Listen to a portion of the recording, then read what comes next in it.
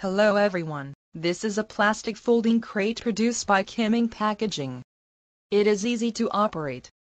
It is supported on both sides and fixed with buckles around it. Cover the lid and then buckle the buckle on the lid. The handle design on both sides makes it very easy and convenient for you to lift. You can choose a variety of sizes and colors, provide you with customized services, free design. You can choose folding boxes of different sizes and heights.